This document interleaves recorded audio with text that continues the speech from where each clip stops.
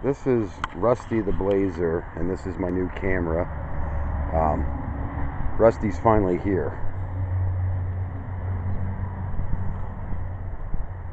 I'm to try my new camera out on Rusty. That's what we're starting out with.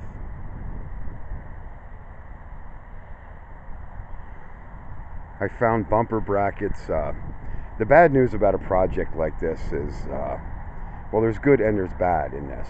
Okay, it does cost money, and Brian, I don't think he'll get upset. He had this.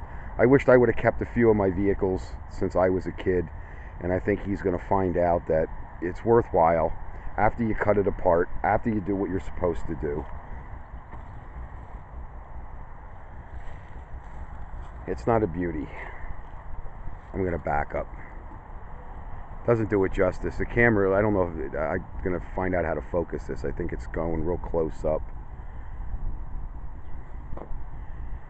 We had to cut the back end apart. I took that all apart down at Paul's. It's got holes in the floors, holes under here if you can see that. It's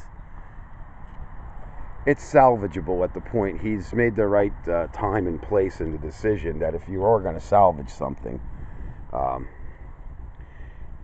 it was it would another couple years it would have been at the point of uh, deterioration where there isn't much working with it. But with the new products and new metals to weld it in uh, the biggest problem is going to be reconstructing this back end because I have to hand rebuild all this. They don't really make anything to rebuild that.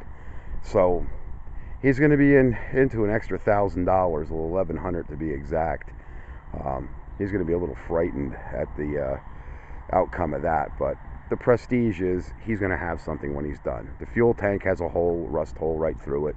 Uh, we're going to do our magic with our uh, magic stuff on the frame. That little product I use and I improved on it.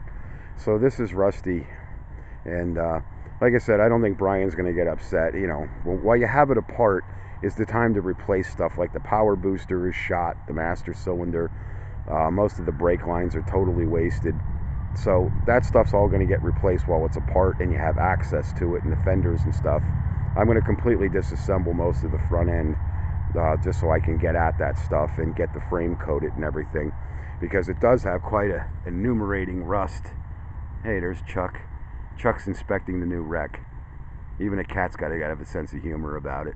So that's where we're at. Is Rusty is here, and the resurrection is going to start within the next couple of days. I got grass to cut.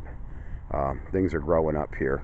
We've had so much rain in between sun, and I have to cut all this. So we're gonna make another video of doing some of the prep work and how you start out with a project like this because this is not easy. I've already started sanding and, and sandblasting stuff. Um, it gets a little nuts and it gets your place to be a mess.